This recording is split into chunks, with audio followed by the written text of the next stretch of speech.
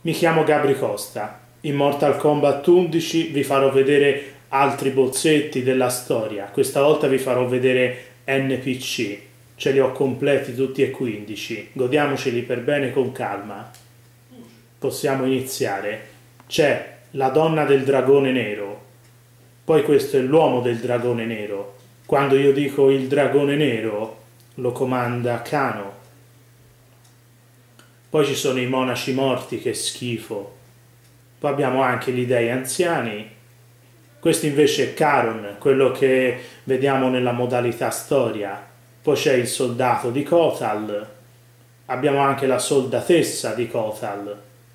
Poi c'è la maschera da soldato poi abbiamo Liu Kang, il dio del fuoco, ma ricordatevi che Liu Kang, il dio del fuoco, si può usarlo nel dodicesimo capitolo della modalità storia di Mortal Kombat 11 e poi è lui che distrugge Cronica.